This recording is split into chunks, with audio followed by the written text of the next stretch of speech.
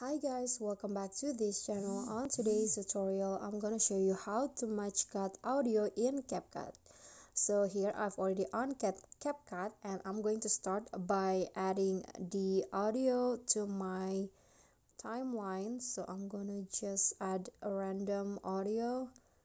Okay, so let's say I want to add this audio right here. So I'm going to download it first then add it to my CapCut.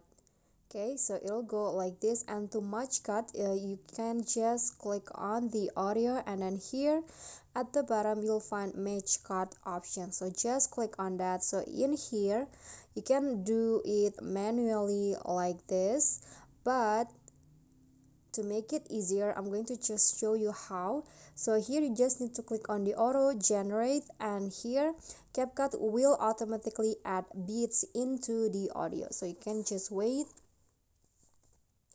So there are two options beat one which like uh, only have a few beats and then beat two like this.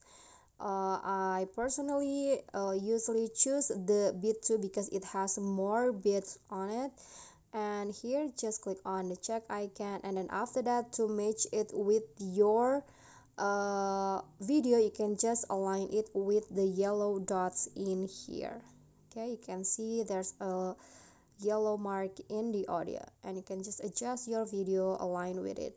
Okay guys so that's all for me. Thank you guys so much for watching. Don't forget to like comment click on the thanks below and subscribe. I'll see you all in the next tutorial. Bye bye